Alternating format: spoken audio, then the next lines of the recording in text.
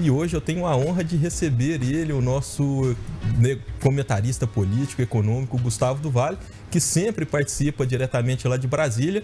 Hoje ele nos dá a honra de participar aqui ao vivo, está comigo aqui no estúdio. Olá, Gustavo, boa tarde, seja muito bem-vindo. Boa tarde, Paulo. Boa tarde a todos vocês que nos dão a honra aí dessa, da visita. Né? É, Para mim é uma satisfação muito grande voltar a Piuí, né? uma terra que eu admiro e aprendi a gostar. Então é uma felicidade muito grande poder ter, estar aqui na rádio pessoalmente. Que bom. Gustavo, começando o nosso bate-papo de hoje, gostaria de começar falando sobre questão da reforma tributária. Né? Semana passada o Congresso Nacional promulgou aí uma reforma que está em discussão desde a Constituinte de 89, 88 ali, e com certeza se irá mexer muito na, na forma né, da cobrança de impostos no nosso país. Promessa de simplificação, de desburocratização, né, um, um, uma cobrança mais clara e o pessoal entender o que, que vai ser cobrado ou não na, no consumo de cada produto. Gostaria de sua análise primária né, sobre isso. O, o projeto ainda vai passar por diversas regulamentações, mas já dá para falar que será uma cobrança mais justa ou não? Paulo, não tem dúvida nenhuma. Para mim, a reforma tributária foi o grande evento é, político e econômico do ano de 2023. É, realmente, você bem lembrou, está há mais de 30 anos essa, essa reforma é discutida no âmbito do Congresso Nacional inclusive, eu, eu, acho graça quando uns dizem que é a reforma do Lula, a reforma de não sei quem. Ora, pô, há 30 anos atrás, sendo discutida, a reforma não é de ninguém, é do Congresso Nacional. E, e você tem razão também, ainda falta alguma coisa, né, ainda falta as leis complementares que vão, vamos dizer, regulamentar a reforma como um todo, mas o mais importante é que ela passou. E é uma reforma constitucional ou seja, ela é o quórum necessário é um quórum maior. Né? Então é a coisa mais difícil de passar. E eu não tenho dúvida que ela vai ser mais justa, mesmo porque ela simplifica os impostos existentes hoje. Né? Nós sabemos hoje que hoje no Brasil tem imposto para tudo quanto é jeito. ICMS, IPI, ISS, a gente não sabe, CONFINS, contribuição social. A gente não sabe direito é, como é que esses impostos são cobrados e de quem são cobrados. No final, cai nas costas do consumidor, porque não, não há comerciante, não há industrial que, que, vamos dizer, que fique com esses impostos, eles repassam. O, o imposto que vai ser criado, o IVA, que vai ser dividido em duas, né? a contribuição e o imposto propriamente dito. A contribuição vai para a União e o imposto vai para os estados e municípios e ele é cobrado é, no destino, que é muito mais justo. Né? Porque hoje, por exemplo, ele é cobrado na origem. Você produz um produto aqui, o imposto é cobrado aqui. Depois tem uma confusão, é, é, é, é falo de retorno de imposto. Hoje a garotada ia chamar de cashback. Mas, mas então, o IVA, ele vai ser cobrado no destino e ele vai ser destacado na nota fiscal. Ou seja, você compra um produto por 100 reais, vamos supor que tem o IVA de 20%, ele vem destacado. Você vai saber direitinho quanto de imposto você vai pagar. Você vai pagar 20 reais. E o, o, o comerciante, o industrial, tem que repassar é, aquele valor para o governo, porque senão é uma, uma apropriação indébita, diferente de hoje, que é uma sonegação de impostos. Né? Então, o comerciante tem está muito atento é, é, a essa questão. Então, quer dizer, e além disso, vai ter ou vão ter alíquotas diferenciadas para produtos da cesta básica. Porque hoje, cá para nós, é uma injustiça com a, os mais carentes, com as pessoas que têm um poder aquisitivo menor, que pagam o mesmo imposto né, daqueles que têm um poder aquisitivo maior, milionário. Ou seja, o imposto que o milionário paga sobre o arroz é o mesmo que o pobre paga sobre o arroz. Isso vai ser diferenciado daqui para frente. A cesta básica vai ter uma alíquota menor e aqueles produtos tipo supérfluo vão ter uma alíquota maior. Então, é uma verdadeira distribuição de renda, na minha opinião. Então, respondendo concretamente sua pergunta, eu considero é, mais justo e considero que é o, o, o evento mais importante do ano de 2023. Essa questão da cesta básica, inclusive, estava lendo né, a respeito quando foi promulgada isso na semana passada. É a questão da cesta básica nacional, que hoje ainda não há aqui no Brasil. Né? Cada estado tem a sua, com algumas particularidades, alguns produtos que são diferenciados. Isso vai unificar tudo. E o senhor bem disse aí a questão do cashback também. Parece que vai ter né, uma regulamentação nesse sentido de devolver parte dos impostos para essa população mais carente. Né? Para a população mais carente, você definiu bem. Vai haver sim um cashback, que é uma devolução do imposto pago e vai ser devolvido em dinheiro mesmo para a população mais carente. É, mesmo porque, se você nós considerarmos, Paulo, os mais, é, as pessoas que têm mais poder aquisitivo têm diversos mecanismos para proteger seu dinheiro. Né? É, vai no banco e aplica, é, tesouro direto, um monte de aplicação que tem por aí. Já os pobres não, os pobres é consumo puro. E quando você diminui é, o imposto sobre o consumo, ou então faz um cashback sobre aquilo que, que os mais pobres pagaram de imposto, é, podendo devolver para eles, é de fundamental importância. É, como, é, quer dizer, eu te falei no início, o que nós temos que ter no Brasil é uma distribuição de renda. É, é, essa concentração de riqueza no país é inadmissível. Né? Você vê, por exemplo, os países mais desenvolvidos, praticamente todo mundo é classe média. Aqui não. Aqui nós temos uma classe muito rica e uma classe muito pobre. Sim. Nós o que nós precisamos fazer é aproximar, aproximar essas classes de modo que nós tenhamos uma, uma, uma classe média importante, como já tivemos no passado. Uhum. Certo. Gustavo, mudando agora um pouquinho de assunto, também na semana passada o Congresso Nacional ele aprovou né, as regras do orçamento do ano que vem e manteve aí alguns pontos interessantes. O principal deles, a meu ver, né, o salário mínimo subindo aí para R$ 1.412 e manteve também a previsão do déficit zero. Será que essa previsão realmente a gente pode contar com ela ou não? Olha, difícil. Difícil, mas é, é fundamental que esteja na lei, como está. A LDO, que é a Lei de Diretrizes Orçamentárias, ela é precedente ao orçamento da União. Então, era necessário que os dois fossem aprovados ainda é, no, no, ano de 2023. É, no Brasil, não é incomum que o orçamento do ano seja aprovado lá para março do ano, do ano seguinte e assim por diante. Dessa vez, desculpe, Dessa vez nós tivemos o orçamento aprovado ainda em 2023, prevendo o déficit zero para o ano que vem. O que, que é o déficit zero? O déficit zero nada mais é de que as receitas primárias sejam iguais às despesas primárias. Né? Então, vai ser difícil? Vai ser difícil. Mas eu acho que o, ministro Fernando Haddad, para mim, pessoalmente, foi a grande surpresa do ano de 2023. Né? Um ministro ponderado, o ministro batalhador conseguiu aprovar coisas importantíssimas no, no, Congresso Nacional, inclusive novos impostos. O brasileiro não gosta muito de novo imposto, mas ele conseguiu os fundos exclusivos, né, que é só o pessoal de alta renda. Né, ninguém tem fundo exclusivo que não seja acima de 10 milhões, 20 milhões de, de patrimônio. E taxar as apostas, né? Porque hoje em dia você vê que todo time de futebol tem um bet da vida então, um patrocinando. Ali, né? Né? Então, esse pessoal de, tinha que ser mesmo tributado e isso já foi aprovado. Então, é, é, o trabalho do ministro Fernando Haddad foi muito bom. Claro que aí nós vamos olhar o outro lado é, da questão. Há uma pressão do Partido dos Trabalhadores, a presidente do partido, é, a deputada Gleice Hoffmann, já disse que um pouquinho de déficit não faz mal a ninguém. Ela está enganada, faz muito mal. Né? Porque não existe essa história. É um, absurdo, um pouquinho né? de inflação, um pouquinho de déficit, é. tudo isso faz muito mal. Mas o presidente Lula parece que está apoiando o ministro Fernando Haddad.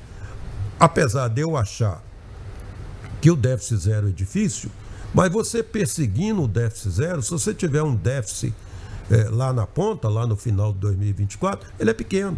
Uhum. Ele vai ser pequeno. E aí qualquer receita adicional que o governo tenha, vamos supor que as empresas estatais dêem um lucro maior, né, Petrobras, Banco do Brasil, Caixa Econômica, Banco do Nordeste e assim por diante. É, se essas empresas derem um lucro é, mais maior, né, maior serão os dividendos pagos ao governo e pode, de certa forma, cobrir é, esses déficits. Eu estou otimista. Eu estou otimista, apesar de vai ser um ano muito difícil, mais difícil que 2023, pode ter certeza, dado a questão internacional. É, não, não para de arrumar guerra lá fora. Hamas contra é, Israel e, e, a Ucrânia e a Rússia que não chegam é a nenhuma solução. É, e além disso, sem dúvida nenhuma, a taxa de juros. Né? Sim, exatamente. A taxa de juros está alta lá fora. Exato. E falando em taxa de juros, Gustavo, aqui dentro do Brasil, taxa de juros caindo, né? a previsão do Banco Central é que continue em queda aí nas próximas reuniões do Copom. Como que você enxerga o ano de 2024 nessa questão da inflação, taxa de juros, a dolarização também da nossa economia, no né? preço do dólar? Como que isso vai impactar aqui no ano que vem? Bem, em primeiro lugar, assim, eu acho que o dólar nós não vamos ter impacto nenhum. O dólar vai ficar entre 4,95 e 5 reais é, o ano todo, a não ser que tenha aí uma catástrofe, é, esse El Ninho que está por aí, estrague toda a produção agrícola do mundo inteiro, algum tipo, coisa desse uhum. tipo. Que você não consegue prever. que não consigo prever. Né? Você não consegue prever. Mas em condições normais, o dólar fica entre 4,95 e 5 reais. Não sai daí. Do ponto de vista da inflação, e aí é, é, é, a gente vê que a política do, do presidente Roberto Campos Neto do Banco Central estava correta. Nós vamos fechar a inflação com a inflação no, dentro do teto da meta, na faixa de 4,5%. E, e o teto é 4,75%, né? E, e deve continuar caindo, desculpe, deve continuar caindo durante o ano de 2024 e a, a taxa de juros vai cair. O Banco Central já sinalizou que cai mais meio ponto percentual na reunião de janeiro e na reunião de março. Então ela já cai para menos de 10. E eu, segundo todas as previsões, a taxa de juros chega ao final do ano que vem em 9,25% ao ano. Eu acho que tem espaço para chegar a 9. Uhum. Né? E aí nós vamos ver que 9 contra uma inflação de 4,5%, nós vamos ter uma taxa real de 4, 4,5%, que já é um pouco alta, mas razoável em vista das incertezas da economia brasileira. Então, eu acho que é por aí. É, nós vamos ter queda de juro e, e, e vamos ter inflação é, rigorosamente dentro da meta. Temos que lembrar que há dois anos atrás, dois, dois anos atrás, se a gente tivesse conversando aqui, como nós conversamos, a inflação era de 10%. Né? Sim. Ou seja, nós conseguimos reduzir a inflação em 60% né, para esse ano.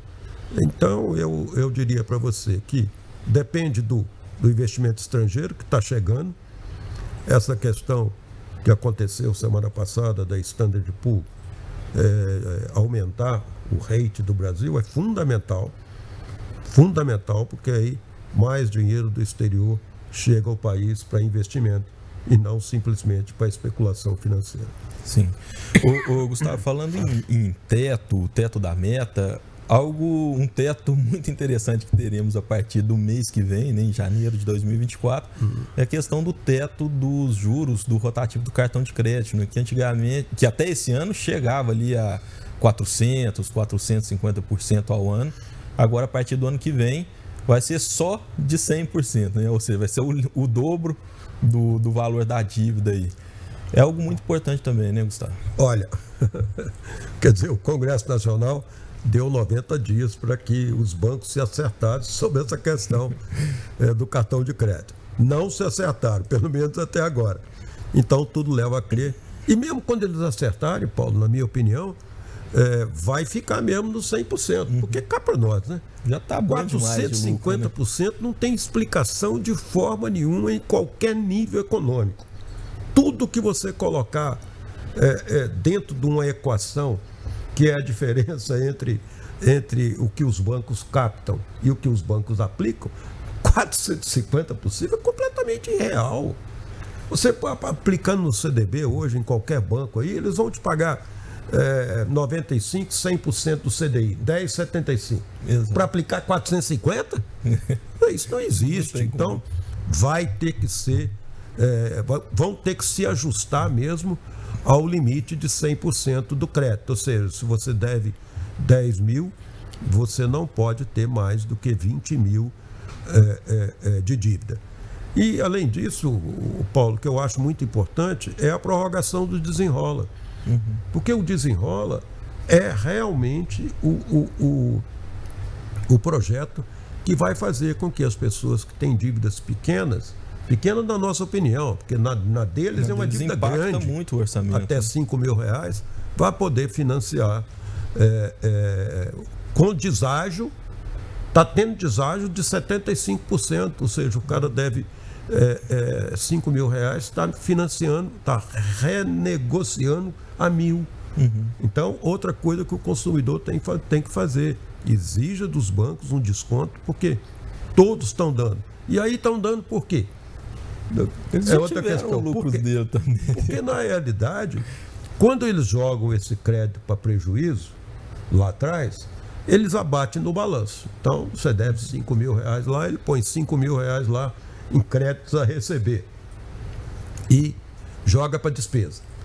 Passa-se o tempo, se você receber mil reais daquilo, é lucro. É lucro. lucro na veia. Então, para os bancos, já assumiu aquele prejuízo, já acabou. Hum. E aí, o cara negocia por esse valor bem menor. Então, quer dizer, respondendo concretamente a sua pergunta, os cartões de crédito, os intermediários e os financiadores, que são os bancos, né, você não acha que o cartão de crédito tem dinheiro para financiar alguma coisa. Não, o financiamento vem dos bancos. Eles falam que é, esse 450 é para permitir os 10 meses sem juros, como se existisse a possibilidade de ter 10 vezes sem juros, mas efetivamente o consumidor paga 10 vezes a mesma prestação, que é o mais importante. Uhum. Então eles vão ter que arrumar outra forma. Pode ter certeza que eles vão arrumar. Banco sempre arruma. Sempre dá um jeitinho, né? Sempre dá um jeitinho. tá certo. Gustavo, meio-dia 21, é, já encerrando por aqui, né, nosso bate-papo, nossa conversa de hoje. É, gostaria, né, deixar uma deixou o espaço aberto para você, caso queira passar mais alguma informação sobre política e economia. E já aproveito para desejar um excelente final de ano para o senhor, um excelente 2024, com muita prosperidade, muito sucesso para todos nós. Obrigado, Paulo. obrigado aí a todos os nossos, é, a nossa audiência. Também desejo um feliz ano novo para todo mundo. Acho que vai ser um ano difícil, mas vai ser um ano bom. Né? Eu acho que a nossa inflação vai chegar aí na faixa de 3%. Nós vamos ter um crescimento na, na faixa de 2%, que é um crescimento importante, porque esse ano deve ser 3%. Hum. Nós temos que considerar que o ano passado foi 2,5, agora 3 e 2 o ano que vem, que é um sobre o outro, né, que as pessoas esquecem. Ah, subiu 10%, tá bom, mas qual foi a base? Sim. Porque é a base é que vale. Mas eu acho que é, a gente pode ter um otimismo importante Houve durante o ano de 2023 muita dúvida sobre como é que seria o comportamento é, do ponto de vista econômico do governo é, Lula. Né? Eu acho que essa dúvida já se esvaiu ao longo do tempo. Então, é, eu acredito que 2024 a gente vai caminhar por um processo de macroeconomia bem, bem, bem importante. Vamos ver o ano que vem, porque 2024 no final do ano termina o mandato do presidente Roberto Campos Neto. Vamos ver quem vai ser o quem novo presidente assumir. do Banco Central e assim por diante. Mas nada que nos preocupe substancialmente. Eu vejo com muito otimismo o ano de 2024. Que bom, Gustavo. Boas notícias. Então, desejo novamente, senhor, né, um próspero 2024. Muito obrigado ao longo deste ano pela companhia aqui em todas as terças-feiras, né? Participando sempre, nos dando a honra de sua dos seus comentários, dos seus esclarecimentos, que são sempre muito, muito importantes para mim, para todos nós aqui da Onda Oeste, para todos nós, né, para toda a nossa audiência, para poder esclarecer esse, esse tema que é tão complexo e é tão difícil né, do, do povo entender, que você fala de uma forma muito clara e que muito acessível, né, que deixa tudo muito mais fácil para todo mundo. Muito obrigado, viu, Gustavo? Obrigado, Paulo. Obrigado a todos vocês, né? Como eu disse, para mim é um prazer. E até o ano que vem, né? Até o ano que vem. ano que vem. abraço. Ano que vem já é de volta de volta a participar de Brasília, é isso? Ah, dia 2 dia dois, dia dois de janeiro, é, eu estarei lá em Brasília ao vivo, se Deus quiser. Tá certo.